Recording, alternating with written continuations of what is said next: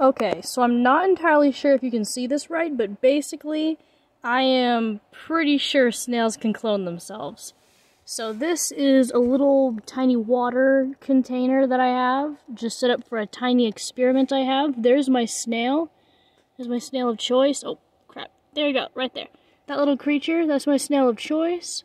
And I just set it in there. It was a baby, and I let it grow up in this little enclosure. It has had no other accomplices or anything else in this thing. It's the only one. I made sure of it. And still, there are these little egg sacs. Not sure if you can see it right. These little, these little egg sacs that have developing snails inside of them. I'm not sure if you can see it right just because my camera isn't focusing on them, but basically, yeah, it looks like they're actually developing baby snails in there, which is really weird. I know snails can be both genders, but I did not know that they could literally reproduce with themselves. So, um, I guess this is part one of my can snails clone themselves adventure.